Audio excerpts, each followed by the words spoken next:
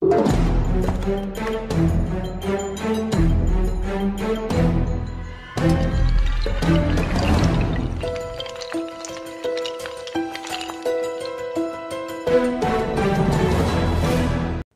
back to Bob's Magic Emporium. Next video, 365 Day Magic Challenge. Live performance today of this trick right here. It's the funny money trick. This is one that I did at a birthday party about two months ago, I think it was. And uh, this is a really fun trick where you make uh, uh, boxes of money appear out of this empty bag. And then at the end, you make a uh, lot of these little spring, uh, folded up spring bills pop out of the bag.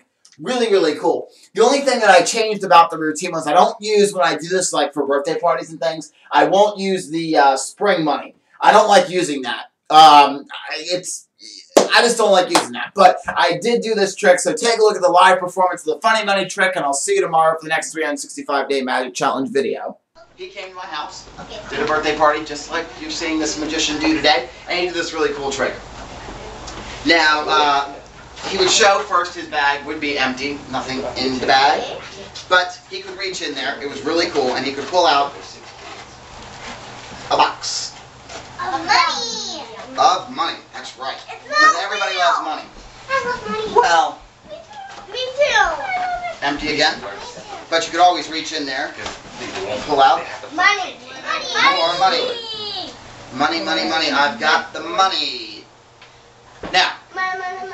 I too, and the whole crowd, when he, this magician came to my house, was so amazed they forgot to applaud too. So the last time, he would make sure that the whole crowd would applaud when he pulled out his final box of money, and the crowd would go crazy with applause